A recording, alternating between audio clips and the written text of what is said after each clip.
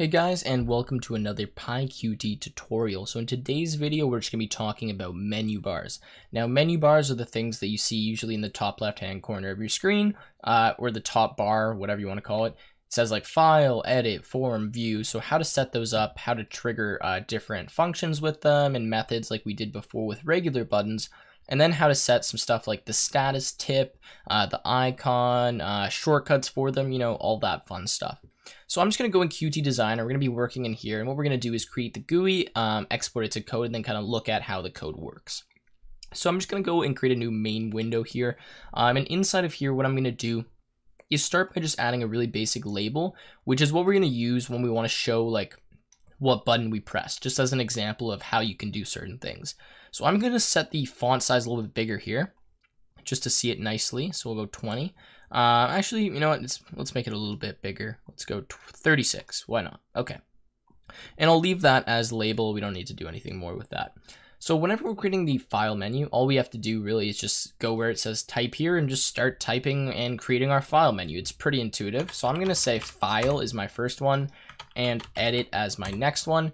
And you can see that it um, kind of brings this thing down that says type here this will allow you to add all the sub menus. So in this case, or sub buttons, whatever you want to call them. So in this case, I'm just going to create new um, as one of them and save. And we're just using these as examples. Uh, it doesn't really have to make sense. And under edit, I'm going to do copy and I'm going to do paste. Now, if you wanted to add another menu to these copy and paste buttons or like cascade it down, um, you can just click on this plus button here and you see where it says like type here you can add another sub menu or whatever you want to call it um, and you can see all the buttons there as well and do the same thing that I'm about to show you with those buttons so let's go ahead and just start by setting up a few things for this new button under file so the first thing I want to do is have a look at this name here. So it's called action name. This is how I'm actually going to reference it in the program. So I want to make sure that's okay. Uh, action new is fine. We'll leave that. Um, and what I'm going to do now is set a shortcut for this, which is a keyboard shortcut. So the keyboard shortcut that I set will allow me to just hit like, for example, control S or control N or whatever I set it. And that will trigger the like press of that button in the program so that all you have to do if you want to save something is, you know, hit control S like you might do in this program, right? So what I'm going to do is go ahead and save for new, it's going to be control N. We'll save that here. And the next thing I'm going to add is the status tip. Now, the status, uh, the status tip is what's going to show up in the status bar. And the status bar is in the bottom left-hand corner of your uh, application. So down here where my mouse is, right where OpenGL widget is, so right below that is the status bar. And you see if I go to like form and layout horizontally, you can see that it shows, uh, lays out the selected widget horizontally. So we're going to create what text we want to show up in that status bar when we hover over that new button. So in this case, I'm just going to say create a new file, just some random stuff so that it kind of makes sense um, and we can see it when it goes there. So the next one is save. So for save, I'm going to set that shortcut uh, to be control S and the status tip is going to be save a file. And then we'll do the same thing for edit. Uh, so for copy, we're going to say status tip will be copy a file and the shortcut will be control C and then for paste, we will have control V and we'll have the status tip as paste a file. Why not? Okay, so now that I've done that, I'm going to save this and I'll just save this as test.ui and I'm going to save that to, uh, where is it? PyQt tutorial. So we'll go ahead and click yes.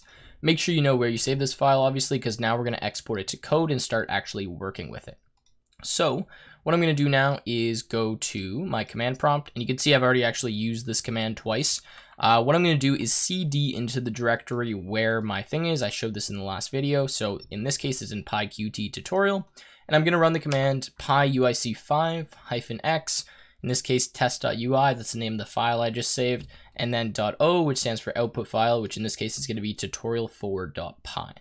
So let's run that, hit enter, give it a second to go. And now if I go into Sublime Text and I open up tutorial 4, I think I need to reopen it because I overwrote it, um, then you can see that we've created this, this file thing, whatever it is, um, in code. So let's run this and just make sure everything looks all right here. And there we go, we get text label, we have file, new, save, we have edit, copy, and paste. Now apparently my shortcuts for save and for Paste didn't work, but that's fine. I'll actually show you how we can set those from code.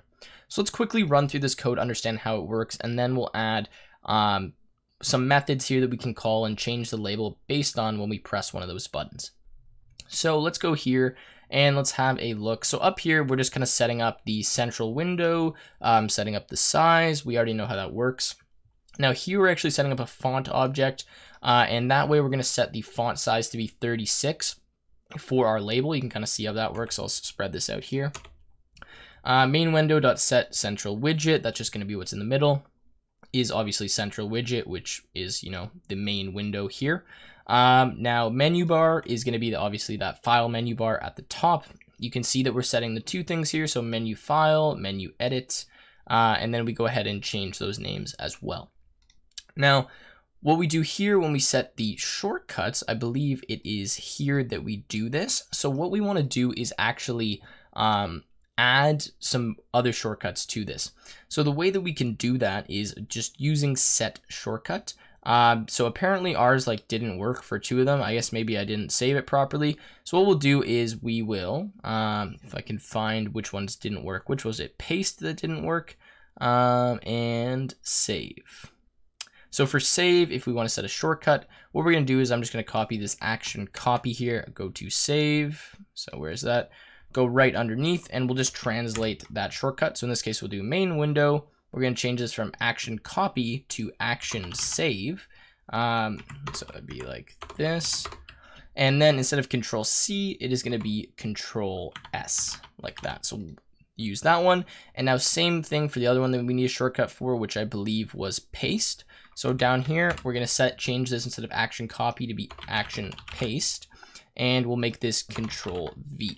So now those shortcuts are set up. If I run this now, we have control S and we have control V, so everything is working perfectly.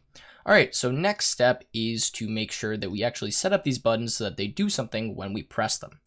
So the first part to do that, and we've already kind of gone through this procedure, so I'm just kind of speeding through it, is I'm going to create a method that is going to be called whenever we press one of those buttons. So in this case, I'm just going to call it clicked, but I'm going to do something differently here, and we're going to talk about how this works in just one second. So inside of here, I'm actually going to take another argument rather than just self, that is text, and what I'm going to do is just update the label. So I'm going to say self.label.set text, Again, this is just how we change that label text. We've already been over this, and I'm going to set it to be equal to whatever is passed in as text. Now, next, what I'm going to do is I'm going to adjust the size of my label. So self.label.adjust size, uh, just to make sure that, you know, it resizes appropriately. All right, so now time to actually link up these buttons uh, to our, you know, clicked event here. So to do that is similar to what we did with the other buttons, except it's uh, just one different word, and you'll see that in a second. So what I'm going to do is I'm to say self dot. In this case, we want to start with new, so action new. So self dot action new dot, in this case, triggered, which is different than clicked that we had before. And triggered essentially just means pressed. The reason it's called triggered is because you can trigger it using the shortcut as well. And then what we're going to do is dot connect and we're going to say uh, this method here, so self.clicked. But the way we're going to do this is using something called a lambda. Um, a lambda is actually just like, a, it's called like a mini function. Um, I'll try to explain kind of how this works, but I'm going to do lambda, and then in here I'm going to say self.clicked, and I'm going to actually pass the argument text. Now text is going to be whatever I want the label to change to, so if you click new, I'm just going to say like new was clicked. Now I'm going to copy this four times, then I'm going to explain what lambda is. So we're going to change instead of action new, we're going to have action save, we're going to have action copy and action paste. And then instead of new was clicked, we'll do all these other ones. So save, go copy, like this, and we will go paste. All right, so let's run this quickly and then I'll explain kind of that other stuff. So I go file, new, you can see new was clicked. I go file, save, save was clicked, edit, copy, and paste, paste was clicked. There you go, that is working.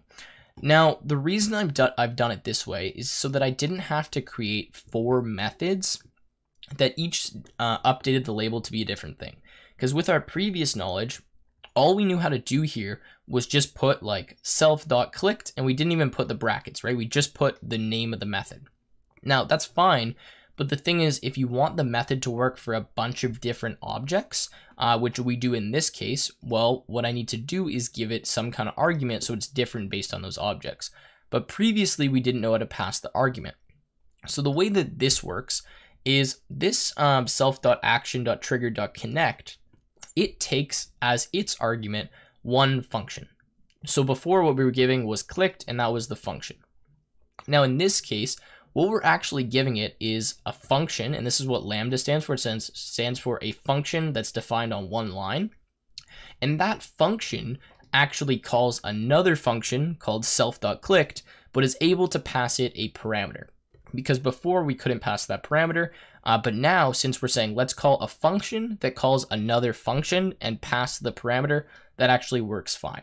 I know it's a little bit confusing. You don't have to really understand this to get why this works, but if you ever want to pass information to the uh, the clicked, you know, method or trigger, whatever it is, then that's the way you do it.